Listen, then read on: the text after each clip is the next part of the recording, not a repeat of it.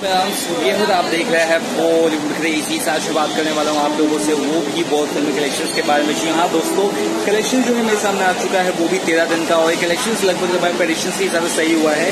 तेरहवें दिन इस फ़िल्म की जो कमाई हुई है, वो फोर करोड़ की हुई है, यानी कि साढ़े चार करोड़ के आसपास। और उसके साथ इसका टोटल हो चुका है हिंदी वर्जन का two sixty point forty crore, यानी कि दो सौ चौसठ करोड़ इस फ़िल्म में कमाई कर ली है। वहीं बात करें थर्टीन डे में तमिल तेलुगु वर्जन का कलेक्शन जो हुआ है, वो थर्टी फाइव लाख हुआ है, जी हाँ पैंतीस लाख हुआ है।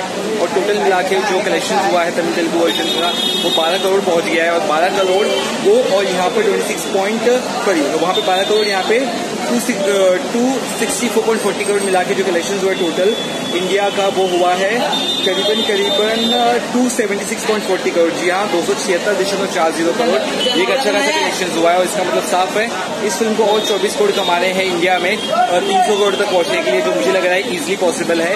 आपको कलेक्शन से कितनी खुशी ज़रूर बताइए। वीडियो अच्छा लगा तो चैनल को सब्सक्राइब करना भूलेगा बाय बाय